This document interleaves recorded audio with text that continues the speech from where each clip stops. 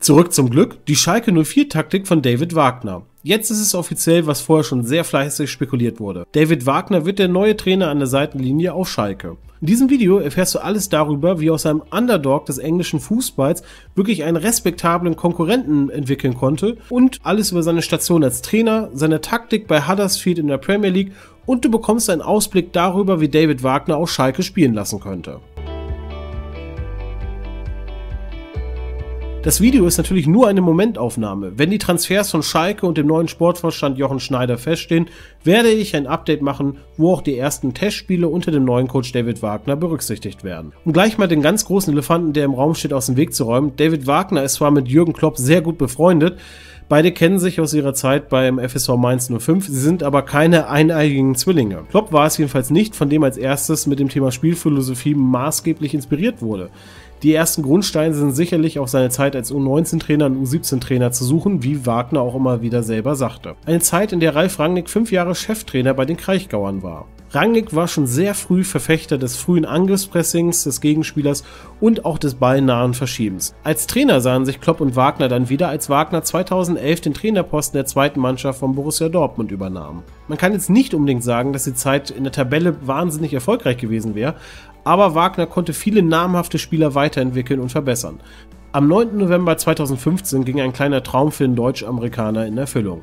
Es wartete sein erster Posten als Cheftrainer in der zweiten englischen Liga, der Football League Championship. 2017 gelang dem Team überraschend der Aufstieg in die Premier League. In der Saison darauf konnte er mit einem wenig finanzstarken Club die Liga halten. Insbesondere in der Hinserie sorgte Wagner und Huddersfield für Aufsehen. Nach 19 Spieltagen war man auf einem sehr guten 11. Platz. Doch wie hat David Wagner das bei Huddersfield geschafft mit so eher ja, finanzschwachen Mitteln? Was zeichnet seine Taktik aus? Das Hauptsystem von David Wagner ist sicherlich das 4-2-3-1 gewesen. In der Verteidigung, im Pressing war es halt auch schon mal ein 4-4-2, sogar auch mit Raute oder als flache 4 oder auch ein 3-4-3. Im Normalfall hat David Wagner mit einem 4-2-3-1 gespielt. Auffällig ist ähm, der Fokus auf die Außen.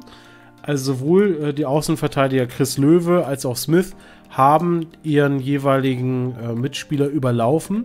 Das heißt, sie haben Überzahlsituationen auf den Außen äh, versucht zu erarbeiten und dann möglichst auf einen eher ja, großgewachsenen Mittelstürmer abgeschlossen. Also sowohl Chris Löwe, Quiner, äh, Smith, Lolly oder Kachunga ähm, haben erstmal versucht, hier Mooney zu bedienen oder andere zentrale, Mittel, äh, zentrale Spieler, die im Sturmzentrum aufgebaut wurden, die halt eine gewisse Größe und Körperlichkeit hier mitgebracht haben.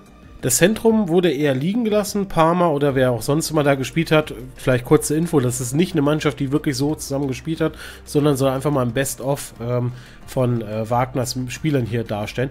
Parma hat dann versucht, hier auch äh, Überzahlsituationen zu erzielen. Weniger ging es halt durch die Mitte, über den Spielaufbau durch die Mitte, sondern man hat halt gezielt versucht, die Außen zu überlagern, um dann halt hier äh, im Zentrum einen wirklich kopfballstarken oder auch physisch starken Spieler in Szene setzen zu können. Und da ging es halt mehr über die Außen. Im Spielaufbau selber war das jetzt nicht ganz so filigran. Es ging halt doch eher darum, im Pressing hier schnell den Ball zu erobern und dann möglichst schnell abzuschließen.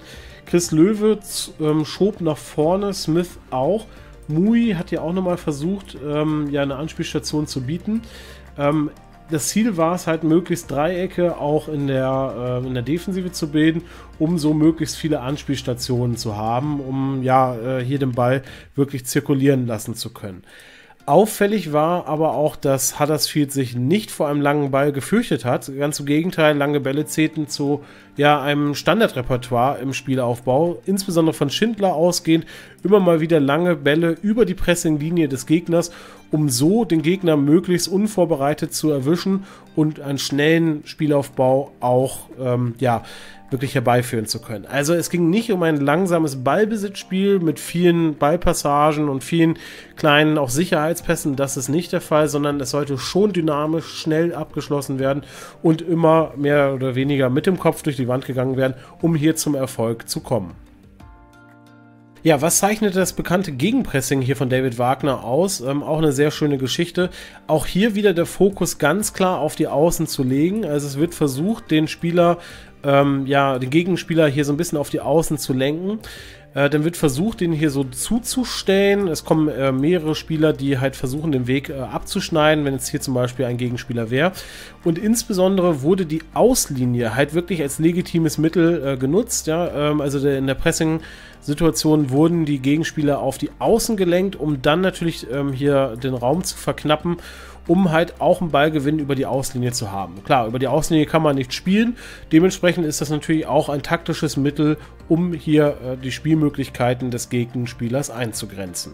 Vielleicht an der Stelle auch noch die Info, es wurden versucht über Flanken, über auch äh, Durchsteckbälle hier zum Erfolg zu kommen, um dann halt ähm, den Überfall quasi über das Überfallartige durch das Gegenpressing möglichst effizient abschließen zu können ja, hier eine Übersicht, wie Schalke möglicherweise spielen könnte. Wie gesagt, das ist komplett ohne Neuzugänge. Das ist der aktuelle Kader.